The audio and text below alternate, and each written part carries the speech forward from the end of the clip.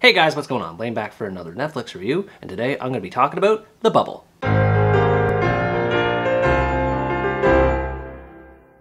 The Bubble is an American meta-comedy movie that follows a group of actors who are known for their involvement in a fictional movie franchise called Cliff Beasts, and are called upon once more to work in another sequel. This time, however, their work proves difficult due to the ongoing COVID-19 pandemic. Everyone is forced to stay in one space, known as the Bubble, as they work to complete shooting of the movie within three months. Chaos unfolds shortly after, causing production to spiral out of control while everyone tries to deal with the insanity of filming a movie while dealing with each other and the strict health protocols in place. Watching a bad comedy is one of the worst types of movie experiences anybody can have, because if the humor is bad, then there's nothing else to have fun with. And this movie is without a doubt the worst comedy of the year so far. It has occasional moments of brilliance, but for the most part, it was absolute torture to sit through. To begin with, there's not much of a central character to latch onto apart from Carol Cobb, who's played by Karen Gillan, and she feels out of place anytime she's on screen. It's not that her performance is bad per se, as she does a good job where she can, but even she can't save her character from the awful writing. Every other supporting character is introduced in clumsy fashion. They just appear out of nowhere during a cocktail party where everyone gathers prior to shooting,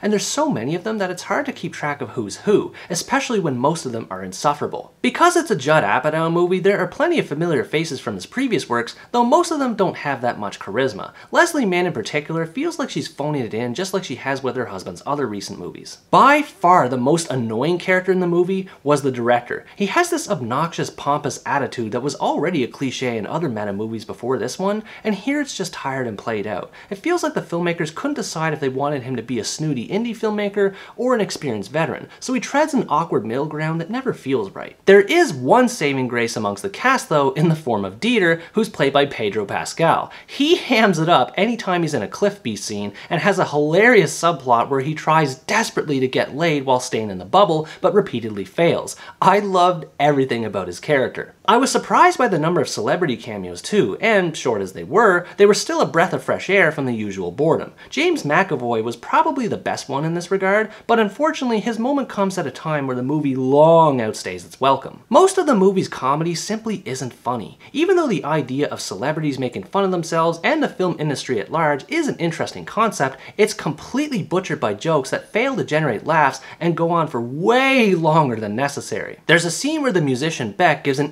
impromptu appreciation concert to the film staff, and apart from it being the most half-assed cameo in the whole movie, it goes on forever. The characters pull off a bunch of weird dance moves while the bit goes on for minutes. Speaking of dancing, the movie feels the need to include TikTok of all things as part of its many cultural references. The pacing keeps getting ruined by dance sequences that interrupt the flow of the story both in and outside of the Cliff Beast movie, and once again, they go on for much longer than they need to. Other times, the comedy is more gross than just pure cringe. One scene starts off on the right foot, as the cast members are sick with the flu and have to film a scene. This results in characters fainting and hanging from wires and and seeing them floating and spinning around while they look like they're in the Cliff Beast movie did get a few chuckles from me. But the movie goes a step further and has characters start puking all over the place and even on each other. This is just one of many examples where the movie adds too much to something that could be funny on its own merits and makes it unbearable to watch. The amount of filler this movie has becomes evident almost immediately. Every character has their own subplot, and with the exception of Dieter's, none of them are interesting. Between this and the absurd amount of time that jokes go on for, the movie is practically begging for a re-edit. No one wants to watch a bad comedy for two hours, especially one that's rooted in the depressing situation that is the COVID-19 pandemic.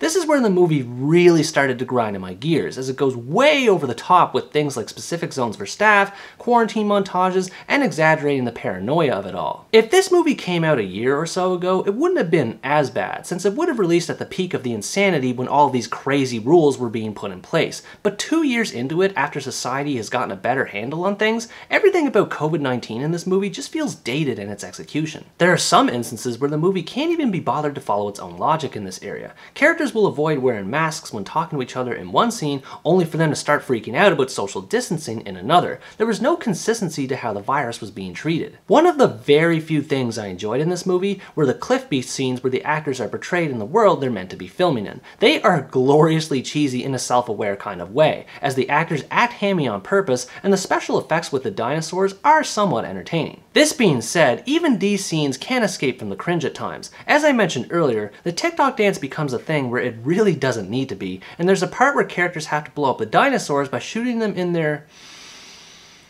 glowing reproductive organs.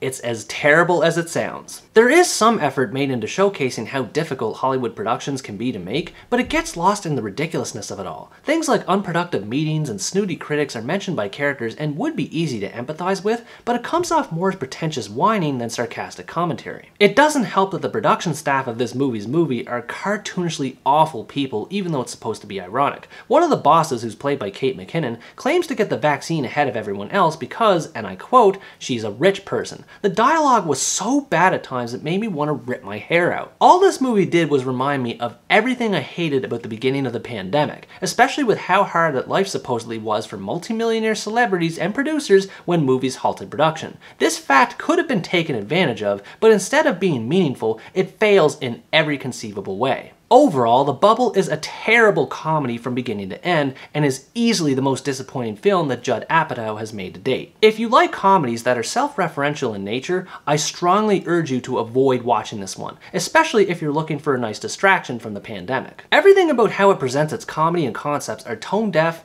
rushed, and pretty much pointless. Its characters are more annoying than humorous, and it adds nothing new to the conversation regarding COVID-19 and the excesses of Hollywood. It almost feels like a two-hour long in-joke that only the cast and crew of this movie will get, which is good enough reason to avoid this movie like the plague. What did you think about this movie? Did you find it as painful to sit through and watch as I did, or were you able to find some redeeming factors to it? Let me know in the comments below. Anyways guys, that's to wrap up my review of The Bubble. Thanks for watching this video, I hope you enjoyed it, and as always stay tuned for the next part, where next time I review the Norwegian romantic drama Battle Freestyle. Bye bye!